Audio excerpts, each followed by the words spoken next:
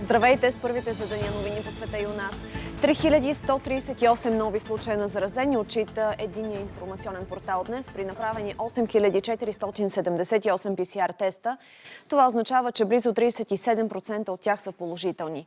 Най-много случаи са регистрирани в областите София, Пловдив и Варна. Излекуваните през последните 24 часа са над 2200 души. В болница остават повече от 6600 пациенти, 523 от тях в тежко състояние. Починалите за деня са 159. Пандемията в глобален мащаб. Заразените с COVID-19 са близо 64 милиона и 500 хиляди. Жертвите на заразата са над милион и 400 хиляди. Франция се очаква днес да представи плана си за вакцинация. От следващата седмица в Великобритания започва иммунизацията с одобрената в страната вакцина на Pfizer-BioNTech. Начало на вакцинация нареди и руският президент Владимир Путин, като в Русия ще се използва местния препарат Спутник 5. В част от европейските държави карантинните мерки се облегчават. Чехия ще отворят магазини, ресторанти и музеи. В Италия пада вечерния час. В клас се връщат учениците от гимназиален курс. Министърът на здравеопазването вероятно ще поиска удължаване на правилата до края на годината.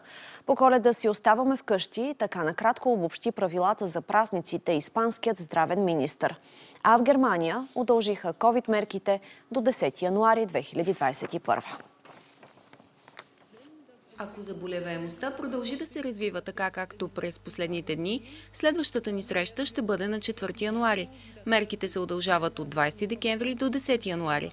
Това на практика означава, че правилата остават същите, с изключение на специалните мерки по коледа до 10 януари. 94 години почина бившият френски президент Валери Жискар Дестен. Причина за смъртта му са последствия от коронавирусна инфекция, обясниха от фундацията, която носи неговото име. През последните месеци Дестен е хоспитализиран няколко пъти заради сърдечни проблеми.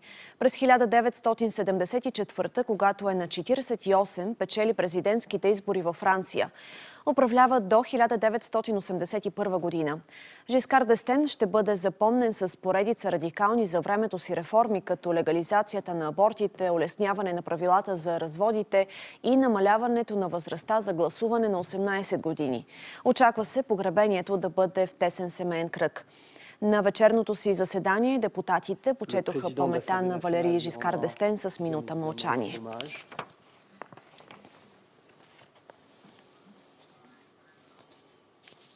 Отбелязваме Международния ден на хората с увреждания, който цели предприемането на по-ефективни действия за гарантиране на достъпа им до обществени пространства, образование и работа.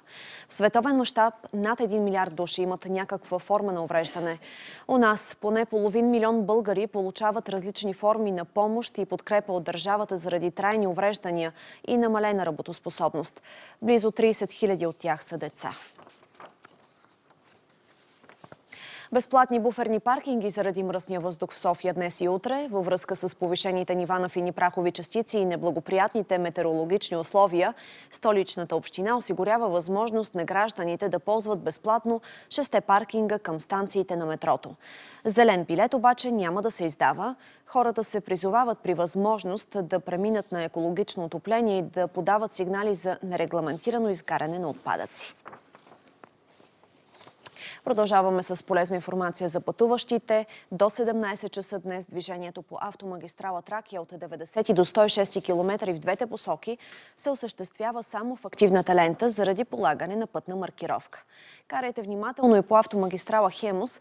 Участъкът между 362 и 375 км е сигнализиран с пътни знаци поради машинно косене и рязане на храсти. За финал коледно настроение запалиха светлините на Елхата пред Капитолия във Вашингтон. Традицията е на повече от 50 години и тази година церемонията се водеше от лидера на демократите в Камерата на представителите Нанси Пелоси. Тя пожела весели празници на всички и благодари на щата Колорадо, откъдето идва почти 17-метровото дърво.